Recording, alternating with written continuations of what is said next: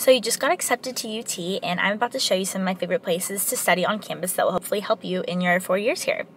Okay, the first one is the PCL. It's kind of the main library on campus. It's great to meet with groups for group projects. There's six floors, all sorts of things. There's a um, local coffee shop down on the first floor.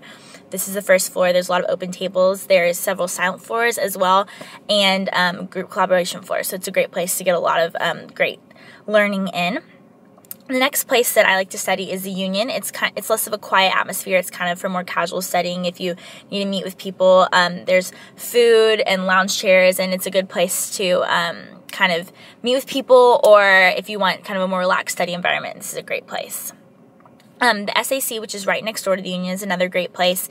Um, there's tables spread out everywhere. It's a little quieter than the Union, but not quite as hardcore as the PCL, so it's another great place with lots of space. And then the last um, study space is kind of a, a, little private study space that not a lot of people know about. It's actually inside the UT Tower.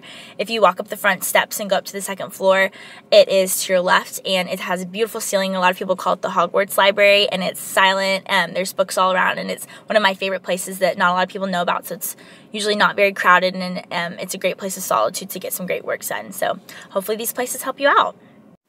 You've been zapped.